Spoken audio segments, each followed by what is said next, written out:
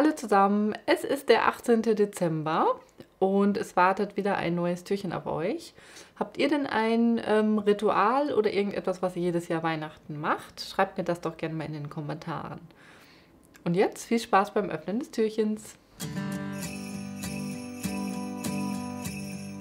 Der Plätzchenclub von Anne Perlman. Hier geht es um zwölf Frauen, die in einem gemeinsamen Club, nämlich dem Christmas Cookie Club sind und sich jedes Jahr zur Weihnachtszeit treffen und ähm, darüber austauschen, was sozusagen in ihrem Leben alles so los ist, was so passiert. Sie lachen und weinen zusammen und es vermittelt einfach eine wunderschöne Weihnachtsfreude.